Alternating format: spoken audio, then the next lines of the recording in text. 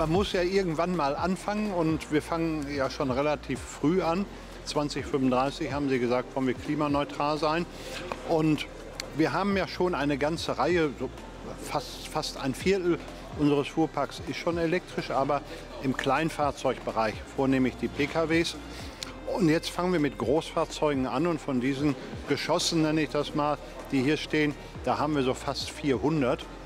Und insofern wollen wir nach dem Test dann auch wirklich massiv in die Beschaffung einsteigen, um die entsprechenden Klimaschutzbeiträge zu leisten.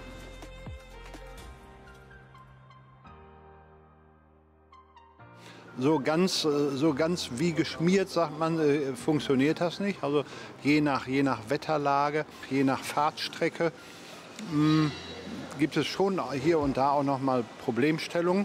Also die spannendste Jahreszeit, denke ich mal, für das Fahrzeug ist jetzt in der Hoffnung, dass wir wirklich noch kalte Tage, kalte Nächte erleben, sodass man eigentlich auch unter ungünstigsten Rahmenbedingungen äh, feststellen kann, die Heizung läuft die ganze Zeit, die Beleuchtung ist die ganze Zeit an, äh, dass wir tatsächlich das, was wir so an, an Tagesprogramm haben, sicher erledigen können, ohne dass man zwischendurch das Fahrzeug zum Laden noch mal irgendwo ranstellen muss.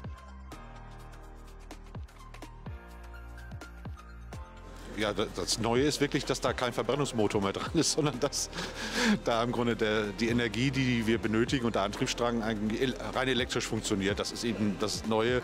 Der Müllwagen ist viel, viel leiser und es ist viel, viel angenehmer für den Fahrer, dass wir keine Ohrenschmerzen mehr haben und auch nicht mehr so gestresst sind. Wir sind mal gespannt, was uns das Jahr dann so bringt.